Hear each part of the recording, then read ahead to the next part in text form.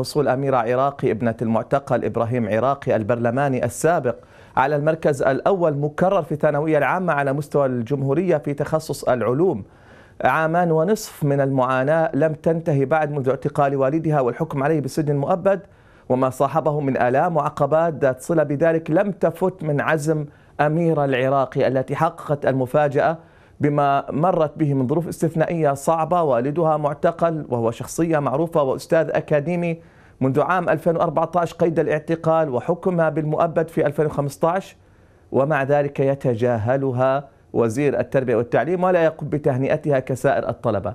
أميرة تقول أنها غير مهتمة بتجاهل رئيس أو وزير التربية والتعليم لها.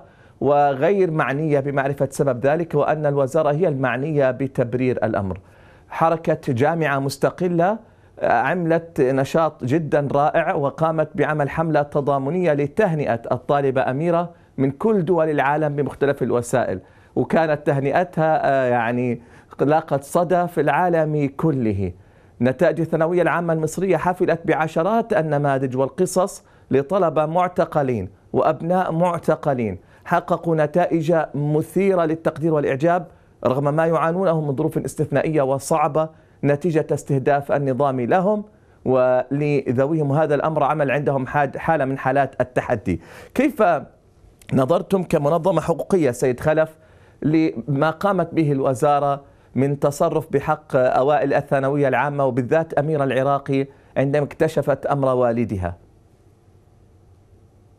الأمر هو هذا النظام يتعامل مع المعارضين والمناهضين بعدم احترام لكافة القوانين والمواثيق الدولية. هذا النظام الذي يقبض على الآباء ويعتقل الأبناء ويطارد الشباب يعني لا يحترم قانون ولا مواثيق. احترام البحث العلمي واحترام العلماء كان يتوجب يعني عليهم ألا يقوموا بالتعامل مع أساس الجامعات بهذه الصورة التي تتم في مصر. فما حدث مع أميرة صورة مصغرة لما يحدث مع علماء مصر الآن. الآن علماء مصر في السجون أميرة استطاعت أن تتحدى الظروف الصعبة ليست أميرة وحدها ولكن عدد كبير من أبناء المقبوض عليهم والصادر بحقهم أحكام بال يعني سواء بالمؤبد هناك شهداء أبنائهم حصلوا على درجات عدت 98% هناك معتقلين أبنائهم يعني قاربوا من المجموعة التي حصلت عليها أميرة. هذا تحدي في نفوس الأبناء. هذا يعني تحدي فرضته المحنه ولكن المشكلة أن النظام لا يعترف ببناء دولة ولا يسعى لبناء دولة ولكنه يسعى للانتقام من فصيل سياسي حتى وإن كان هذا الأمر يأتي على حساب الوطن وعلى حساب مصلحة الوطن وعلى حساب يعني قيمة الوطن. حضرتك حدثني عن المليارات التي تصرف عن البحث العلمي في مصر والمليارات التي تصرف على بناء السجون. 11 سجن كما اسلفتم في تقريركم الآن. بنوا كثير يعني تم بنائهم واستصدار أوامر لبنائهم في مصر خلال هذه الفترة. فكم من المليارات وجهت إلى البحث العلمي؟ هذه دولة للاسف هذا نظام.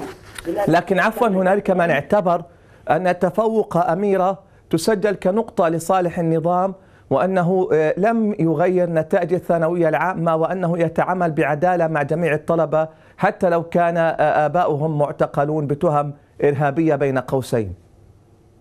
يعني دعنا ننتظر الأيام القادمة ماذا ستسفر محامي من محامي من المعروفين بقربهم من النظام يسعى لتقديم بلاغ ضد أميرة هناك بعض الأبواق الاعلام بدأت تتحدث وتحاول أن تشن حربا على أميره. لا يعني دعنا ننتظر الأمور ماذا سيسفر عنه؟ يعني هل تتوقع يعني هل تتوقع أن تعرقل الطريق أمام أميرة؟